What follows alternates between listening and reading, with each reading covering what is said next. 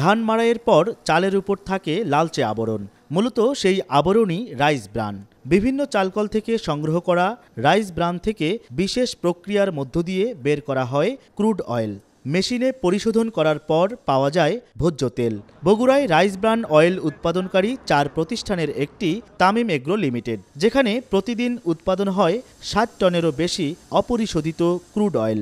বগুড়ায় চারটি প্রতিষ্ঠানে উৎপাদন করা হয় রাইস ব্রান অয়েল। তার মধ্যে তিনটিতে অপরিশোধিত ক্রুড অয়েল উৎপাদন করা হলেও তামিম এগ্রো লিমিটেড নামের এই প্রতিষ্ঠানটিতে উৎপাদন করা হয় পরিশোধিত রাইস ব্র্যান্ড অয়েল, যা রপ্তানি করা হয় পার্শ্ববর্তী দেশ ভারতে। বাংলাদেশে বেশিরভাগ মিলে পরিশোধনের ব্যবস্থা না থাকায় ভারতে রপ্তানি হয় ক্রুড অয়েল। সেখানে পরিশোধনের পর বোতলজাত হয়ে বাজারে বিক্রি হয় ভোজ্য তেল হিসেবে। গত বছর শুধুমাত্র বগুড়া থেকে তিন কোটি আশি লাখ মার্কিন ডলার মূল্যের রাইস ব্রান ও ক্রুড অয়েল রপ্তানি হয়েছে ভারতে। গত পাঁচ বছরে রাইস ব্রান আর ক্রুড অয়েল রপ্তানি করে এই জেলার আয় ছাড়িয়েছে আঠারো কোটি সাতাত্তর লাখ ডলার। একই সাথে পরোক্ষভাবে চালের বাজারেও ভূমিকা রাখছে এই রাইস ব্রান। সারা বাংলাদেশে এই রাইস ব্র্যান্ড অয়েলের টোটাল ফ্যাক্টরি হলো চোদ্দ কি পনেরোটি।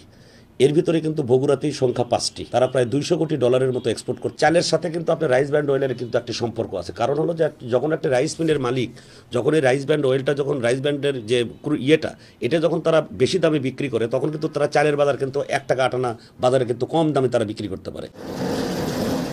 রাইস ব্রান থেকে ক্রুড অয়েল নেয়ার পর অবশিষ্ট অংশকে বলে ডি অয়েলড রাইস ব্রান পশু পাখির খাদ্য হিসেবে বাজারে যার বেশ কদর আছে। এর ফলে সাশ্রয় হচ্ছে বৈদেশিক মুদ্রা। ধানের কুড়ো থেকে রাইস ব্রানের নির্যাস বের করে নেয়ার পর অবশিষ্ট যা থাকে তা ব্যবহার করা হয় হাঁস, মুরগি, মাছ ও গবাদি পশুর খাদ্য হিসাবে। বাই প্রোডাক্ট আছে, যেটা একটা ডিওরবি বলা হয়। এই ডিওরবিটা পোলট্রি শিল্পে মেইন প্রোডাক্ট রপ্তানির পাশাপাশি স্থানীয় বাজারেও রাইস ব্রান তেলের রয়েছে ব্যাপক সম্ভাবনা। রাইস ব্রানের পুষ্টিগুণ নিয়ে ভোক্তাদের মধ্যে সচেতনতা বাড়ানোর পাশাপাশি এ শিল্পের বিকাশে মিলগুলোতে ক্রুড অয়েল পরিশোধনের ব্যবস্থা থাকা প্রয়োজন বলে মনে করেন ব্যবসায়ীরা। আমরা এভরিডেতে পাচ্ছি হচ্ছে একশো দশ টন বিশ টন পাচ্ছি। এই তেলটা আমাদের প্রতিদিন বা সাপ্তাহিক আকারে ইন্ডিয়াতে মানে আমাদের ইয়ে হচ্ছে রপ্তানি হচ্ছে। এটা মানুষের কাছে সরকারের মাধ্যমে আসতে হবে। তাহলে আমরা দিন দিন এটার প্রোডাকশন বাড়াতে পারব। এটা কিন্তু ফিনিশড গুড করার কিন্তু তাদের কিন্তু যন্ত্র নাই।